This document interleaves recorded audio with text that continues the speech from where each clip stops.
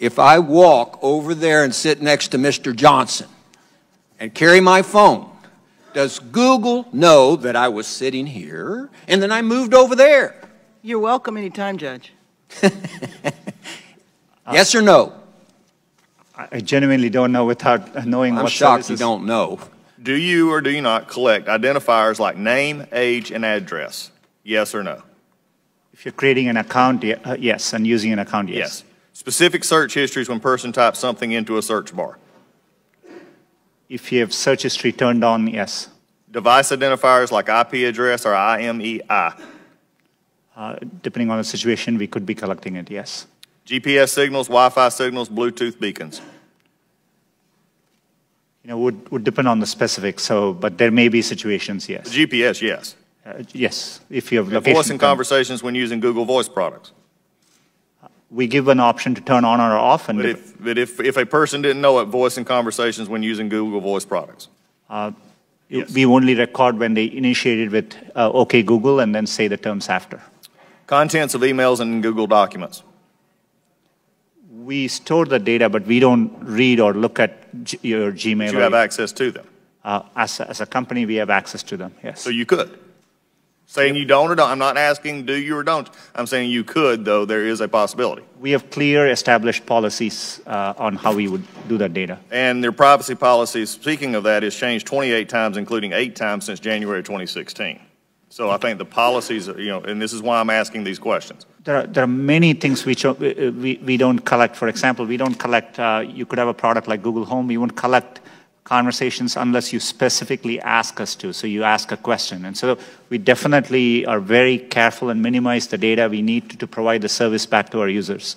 Why, number one, does Google need all this information? We can answer that in the fact that 85 86% of your revenue comes from advertising, so we know you manipulate the data in some ways. However, can you explain what you do to minimize this data, which is generally an accepted standard practice among those who collect data? You know, our goal is, uh, you know, but we are providing, for example, if we are providing you a service like Gmail, which we have done for 15 years, uh, that, that data, we need to store it for our users, so they expect us to.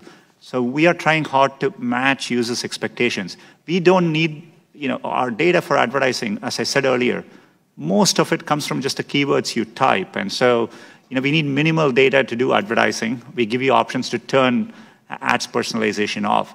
We store most of the data we do today to help give users the experience they want, and that's what we're trying to do. Do you believe that Google has been, has been brought out here in some question is biased? Uh, Congressman, it's really important to me that we approach our work in an unbiased Do unbiased. you believe that Google is biased? It's either yes or no. N- uh, no, not in our approach. How do you explain this apparent bias on Google's part against conservative points of view, against conservative uh, policies? Is it just the algorithm, or, or is there more happening there? Congressman, I understand the frustration at seeing negative news, and you know I see it on me on Google. There are times you can search on Google, and page after page there's negative news which we reflect. But what what is important here is we use a robust methodology to reflect what is being said about any given topic at any particular time, and we try to do it objectively using a, a set of rubrics. It is in our interest to make sure we reflect uh, uh, what's happening out there in the best objective manner possible.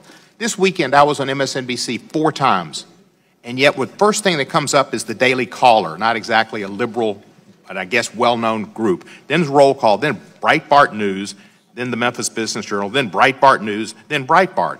So it looks like you are overly using conservative news organizations on your news. And I'd like you to look into overuse of conservative news organizations to put on liberal people's news on Google. And if you'd let me know about that, I'd appreciate it. You know, we do get concerns across both sides of the aisle. Uh, you know, I can I can assure you we do this in a neutral way.